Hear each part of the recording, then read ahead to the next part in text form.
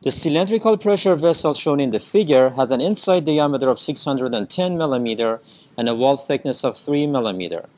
It's made from aluminum alloy that has the modulus of elasticity of 70 gigapascal and the shear modulus of 26.3 gigapascals. Two strain gauges are mounted on the exterior surface of the cylinder at right angles to each other. However, the angle is not known. The angle of theta is not known. If the strains measured by two gauges are 360 and 975, what is the pressure in the vessel?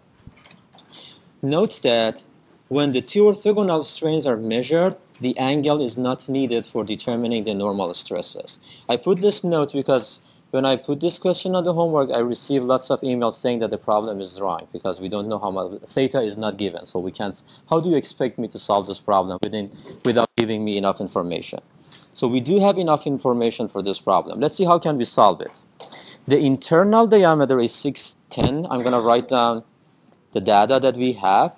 Radius is 305 millimeters.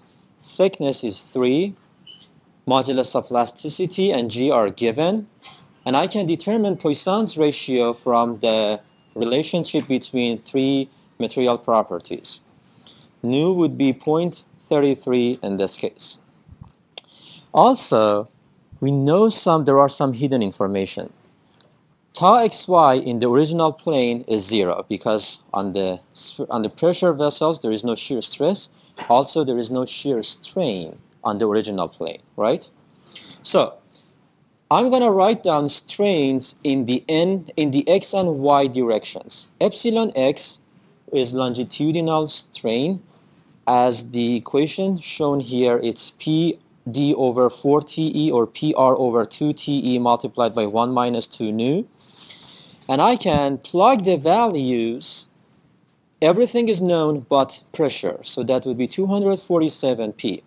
Similar to that, we can determine strain in the y direction, which is hoop strain, and that would be 1213p. So we have determined internal strains in x and y direction. Now we need to rotate that to get to nt directions, right? But we don't know how much is theta. How can we solve this problem?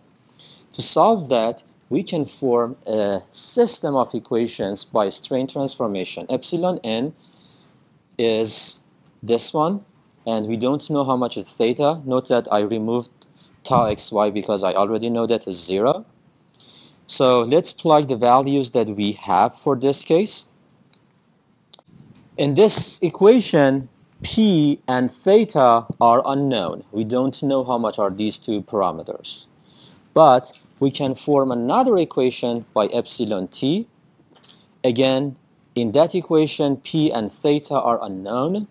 So we have two equations, two unknowns that could be solved for determining theta and p.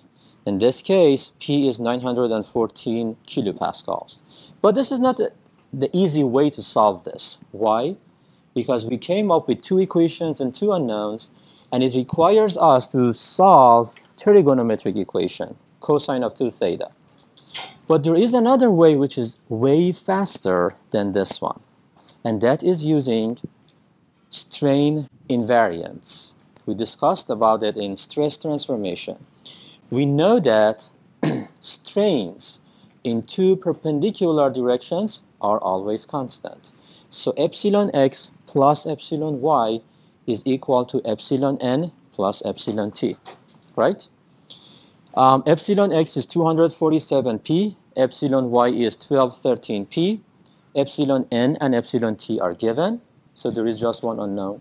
And just with two lines of solution, I can determine how much is p.